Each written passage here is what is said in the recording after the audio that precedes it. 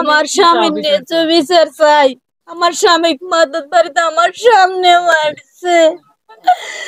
আমি সকলের কাছে ন্যায্য বিচার চাই আমার স্বামী। আপনারা দিবেন আমার ন্যায্য ভাইয়ের শত্রু ভাই। প্রিয় দর্শক না কোনো ছবির নাম বলছি না বাস্তবিক ঘটনা বলছি। সিরাজগঞ্জ জেলার সরাতল গ্রামে একটি এমন একটি ঘটনা ঘটেছে যা খুবই হৃদয় বিদারক। সামান্য তুচ্ছ একটি গোয়াল ঘর মানে গরুর ঘর দেওয়া নিয়ে দুই ভাইয়ের মধ্যে দ্বন্দ্ব লাগে এবং বড় ভাই সেজো ভাই, সেজো ভাইকে আঘাত করে। সেই আঘাতের ফলে সেজো ভাই মৃত্যুবরণ করে। তো চলুন বন্ধুরা, আমি আসলে সেই বাড়িতে উপস্থিত রয়েছি এবং ঘটনাটি জানার চেষ্টা করব। চলুন বাড়িটার ভিতরে যাওয়া যাক। বন্ধুরা, এই বাড়িতে আসলে এমন একটি হৃদয় বিদারক ঘটনা ঘটে যেই ভাইটি মারা গিয়েছেন উনি একজন প্রবাসী প্রবাসে ছিলেন। তো দীর্ঘ কত বছর ছিলেন প্রবাসী? প্রায় চোদ্দ বছর। চোদ্দ বছর। চোদ্দ বছর প্রবাসে থাকার পরে উনি দেশে আসেন। ওনার এক একটি স্ত্রী রয়েছে। উনি কি সন্তান সম্ভাবনা। আচ্ছা গর্ভবতী একজন স্ত্রী আছে। তো হ্যাঁ। তো যাই হোক এই যে দেখতে পাচ্ছেন বন্ধুরা, আমরা এই যে এখানে আসলাম, দেখতে পাচ্ছেন। এই বাড়িতে আসলে ঘটনাটি ঘটে। একটু আগে তাকে এখানে গোসলের ব্যবস্থা করানো হয়েছে। তাকে নিয়ে যাওয়া হয়েছে এখন কবরদস্ত করার জন্য। আচ্ছা আমরা একটু গোলঘরটা দেখে আসি আগে। কোন গোলঘর দেওয়ার জন্য এরকম মারামারি লাগল এবং সে মৃত্যুবরণ করে ফেলল?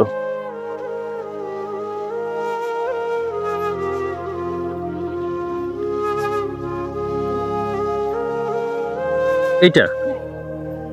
আচ্ছা এই- এইটা নিয়েই মারামারি হয়েছে মূলত? জি জি। জি।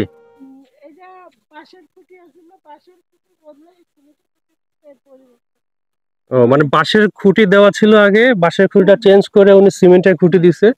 এই খুঁটি দেওয়া নিয়েই আসলে বিবাদের সূত্রপাত। আল্লাহ মানুষ কোন পর্যায়ে গেছে? এই যে সামান্য একটা গরুর গোল ঘর এই গোল ঘরের খুঁটি বদলাইছে, তাতেই হচ্ছে মারামারি শুরু এবং এই মারামারির জের ধরে শেষ পর্যন্ত কি হলো? বড় ভাই, ছোট ভাইকে মেরে ফেলল। এখন এই যে বড় ভাই যে ছোট ভাইরে মারলো, এখন কি বড় ভাই কি শান্তি পাচ্ছে? এখন তো যার জন্য করছে সে তো নাই। এখন তো সেও, সে নাই, এখন কি সে ভালো আছে? বড় ভাই কেন ভালো আছে? বড় ভাই কোথায়? পালাতক পালাতক। আমরা একটু বাড়ির ভিতরে যাওয়ার চেষ্টা করব। এদিক দেখি যাওয়া যায়? আচ্ছা।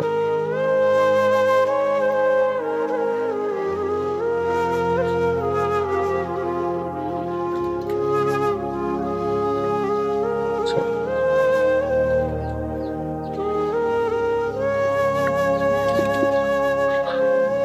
আচ্ছা ঘটনাটি চাক্ষুষদর্শী কেউ ছিল? আশেপাশে কেউ দেখছে? আশেপাশে কেউ দেখছিল ঘটনাটা কি আসলে কি ঘটছিল একজাক্টলি সবাই দেখছে? আপনি একটু কথা বলেন। এখানে বলেন যে এটা হাতে নিয়ে একটু আমি ছিলাম না। আপনি ছিলেন না? ছিলাম না। আমি মারামারি শেষে আসছি। আচ্ছা কে মানে ছিল কে? মারামারির সময়টা কে ছিল? আচ্ছা মাটি দিতে গেছে। তো ভাইটার ওনার আম্মা জানেন না একটু ওনার মায়ের সাথে কথা বলি।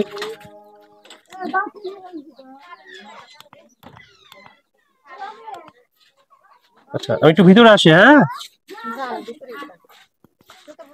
একটু ভিতরে আসি।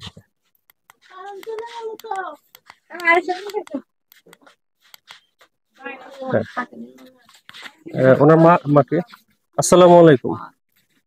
তো মা আমি আপনার সাথে একটু কথা বলি। যিনি মারা গেছেন উনি তো আপনার সেজো ছেলে না? ওনার নাম কি ছিল? আব্দুল সাত্তার। আব্দুল সাত্তার। ঘটনা যখন ঘটে আপনি সাত্তার ভাই যখন মারামারি হয় আর কি সাত্তার ভাইয়ের সাথে তখন কি আপনি ওখানে ছিলেন উপস্থিত ছিলেন? জি। আমি জি। আমি ভাবলাম কি আরও মানুষজন জুটে গেল? জি। হাতে আমার বেটাকে মোরা নিয়ে গেল। নিয়ে যা আমরা খাড়া হলে আমরা হুমকি ব্যাগ খাড়া আছি আর ওই বড্ড এমুড়ে বাস নিয়ে যা ভরে বাড়ি দেবো তা তো জানি না। এমুড়েতে বাস নিয়ে বেটা উত্তর মুখে খাড়া রয়েছে দোহনে মুড়ে দিয়ে যায় মাথার বাড়ি গেছে বেটা ও। বি পুরা পড়ে যায় মানে সে দেখেও নাই তাকে যে বাড়ি মারতে আসছে সে জানেও না। কেউ জানে না আমরাও জানি না আমরাও তাহলে আপনি বলতে চাচ্ছেন যে আপনার বড় ছেলে হচ্ছে সম্পূর্ণ দোষী। হ্যাঁ। সে হচ্ছে নিজে থেকে বাস নিয়ে যে হ্যাঁ মাথায় বাড়ি মারছে। হ্যাঁ মানে কোনো কথা কাটাকাটি বা দ্বন্দ্ব মারামারি মনে এরকম কিছু হয় নাই। আগে মোরা ওই যে যে কাউ কেউ আমার ছোট বেটা মারানো সে তো বড় ওই বেটা যা ঠেকাইছে। আচ্ছা। ঠেকাই হেনে কেউ কেউ গাও গাও মারামারি নাই বুদ্ধে আমরা ব্যাগটাই নিয়ে নিয়ে মোরা গেছি। টানিও নাই হাত ধরে নিয়ে গেলাম বেটাও বিগাল ছেলে। যা এখন খারাপ আছে আর এই যে ঘুরিয়ে উঠে বাস্তব দিয়ে যা আচ্ছা এখন তো আমার ওই বেটার কোনো দোষ ছিল দোষ না। ছিল না। না। তবে আপনার ছেলে মেয়ে কয়জন টোটাল ছেলে মেয়ে আসছিল চারটো ছেলে আর দুটো মেয়ে চারটো ছেলে। তার মধ্যে যে একটা মরে গেছিল আগে।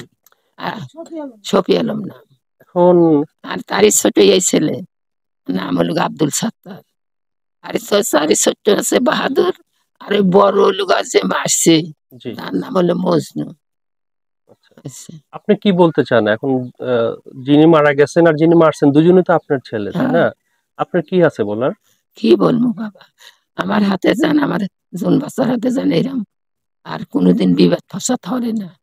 হে জানেরা দেখবেন। দর্শক আসলে আমরা জানি যে একটা কথা বাংলায় আছে রেগে গেলেন তো হয়ে গেলেন। তো দেখুন রাগ মানুষকে আহ, কত দূর পর্যন্ত নিয়ে যায়। এই মায়ের দুটি সন্তান বড় ভাই রাগের ফলে রাগান্বিত অবস্থায় ছোট ভাইয়ের মাথায় বাড়ি মারে কিন্তু ছোট ভাই রক্তক্ষরণ হয়ে মস্তিষ্কে মারা যায়। এখন বড় ভাই তো রাগের মাথায় পড়ছে এখন রাগ পড়ে গেলেও কিন্তু সেটা কিন্তু আর ফিরে পাওয়া সম্ভব না। আর হলো বইয়ের যুক্তি। ওর বউ বিচিরা বেচারা যা কয় ও তাই আচ্ছা আপনার ছোট ছেলের সম্ভবত একটা- একজন স্ত্রী আছে বউ আছে না? হ্যাঁ। নয় বছরের বিয়ে হয়েছে ছয় মাসে পোয়াতে জি। আমার বেটা এতদিন জন বাচ্চা দেখে না এই বেটা পেতে হলে আমার বেটা কত খুশি। আমার খালি কাও মা তুমি দোয়া হরো আল্লাহ যদি একটু মেয়ে দেয় তাও যেন আমি কোল নেবের পারি। আচ্ছা। খালি এগনি কয়। এখন হেই আমার ওই বেটার বউয়ের এখন কি উপায় তাই গো আচ্ছা আপনার ছেলের বউ কোথায় আছে নিয়ে আছে। কথা বলার মতো অবস্থায় আছে? যাও। আচ্ছা। আমার করব। আচ্ছা আচ্ছা, তো দর্শক দেখলেন যিনি মারা গেছেন তার মা কথা বললেন আমাদের সাথে। আসলে খুবই হৃদয় বিদারক একটি ঘটনা আর তিনি বা কি বলবেন দুজনই তো তার সন্তান। তবে একটা কথা একটা মেসেজ এখান থেকে আপনাদের সবাইকে দিব যে রাগ মানুষেরই হবে অতিরিক্ত রাগ ভালো না। রাগ সংবরণ করুন।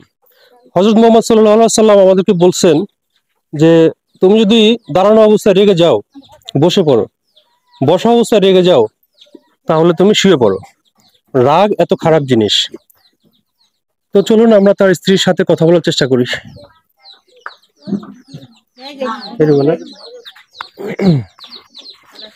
আচ্ছা একটু আসতে দিন ভিতরে।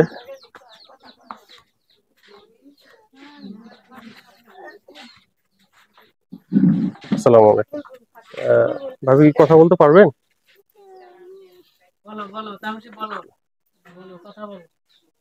কি কম? আমি ইউটিউব থেকে আসছি। ইউটিউব টেবল ফেসবুকেও আছে স্পিক দ্যাট ট্রুথ আপনার মনের কথাটা এখানে একটু বলেন। আমার স্বামীর ন্যায্য বিচার চাই। আমার স্বামী মাদত বাড়িতে? আমার সামনে মারছে। আমি সকলের কাছে ন্যায্য বিচার চাই আমার স্বামী। আপনারা দিবেন আমার ন্যায্য বিচারের আমার ন্যায্য বিচার চাই আমি ন্যায্য বিচার চাই। আচ্ছা আচ্ছা আচ্ছা তা- কথা বলার দরকার নেই। ঠিক আছে ঠিক আছে। আপনি কি হন ওনার? ওনার ভাই। হন। আপনি একটু আসেন আমার সাথে। আমি ন্যায্য বিচার চাই।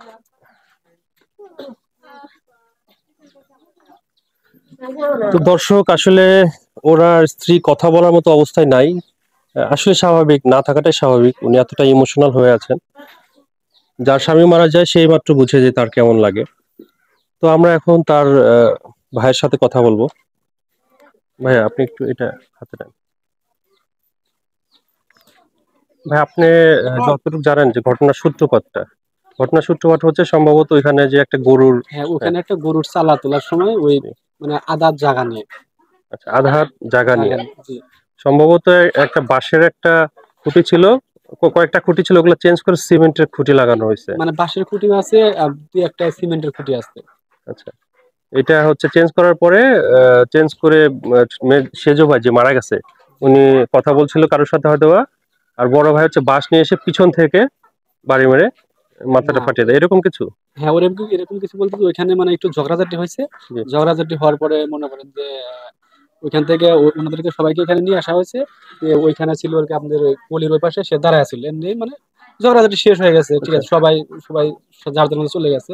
যাওয়ার পরে উনি অতর্কিত ভাবে পিছন থেকে এসে মানে যে চার ফুট লম্বা একটা বাঁশের গোড়ালি কাঁচা বাঁশ ওটা দিয়ে মানে অতর্কিত ভাবে মাথায় পিছনে সদূরে আঘাত করে মেরে ফেলছে। তারপরে মনে করেন যে ওনার ফ্যামিলির যে ছেলে মেয়ে যারা ছিল ঠিক আছে এবং মজদুর সহ ওরা হচ্ছে ওই পেটে উপরে পাড়ায় পাড়ায় ই করছে। আচ্ছা আমরা যতটুকু জানতে পেরেছি চাক্ষুষ দোষে যিনি ওনার মা ওনার মা কথা বললাম ওনার মায়ের সাথে ওনার মাও বলল আসলে বড় ছেলেরই দোষ।